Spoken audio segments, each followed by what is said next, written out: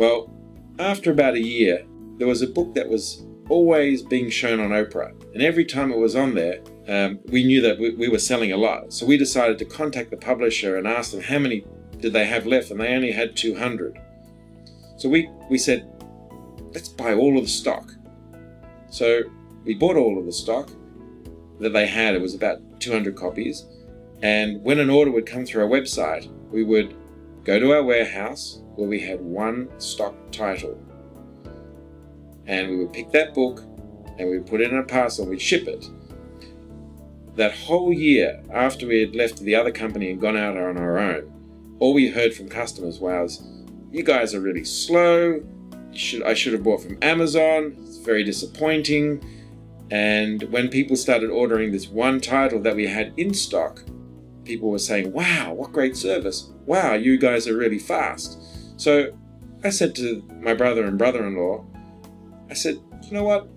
We should really hold more stock. What about Think and Grow Rich? The Power of Positive Thinking, How to Win Friends and Influence People.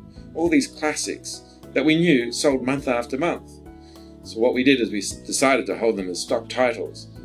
And we continued to think up more and more. We didn't go for all those big best-selling new titles. We left them for the others. We just went for the perennials, the ones that would sell month after month.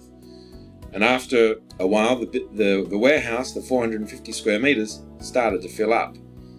And in around 2009, we started to really run out of space. So what we did is we decided to look for more space and we ended up in Lane Cove West with 2,000 square meters. And at that stage, we had 40 people working at Booktopia over at the other place. So when we came here, we had heaps of space and we thought this would last us for five years. Well, in 2011, we ran out of space again and we had to take another 1,500 square meters down the road. And luckily enough, at the end of 2012, another 500 square meters became available in our building and we ended up with 4,000 square meters. So today, our business operates out of 4,000 square meters and employs 67 staff. And instead of doing $200,000 a month, we now do around $2.5 million a month, which is quite a big difference. And our guys are very busy, and we've grown from being one of the, I guess, the no names or a small player in the book industry to one of the most important resellers of books in Australia.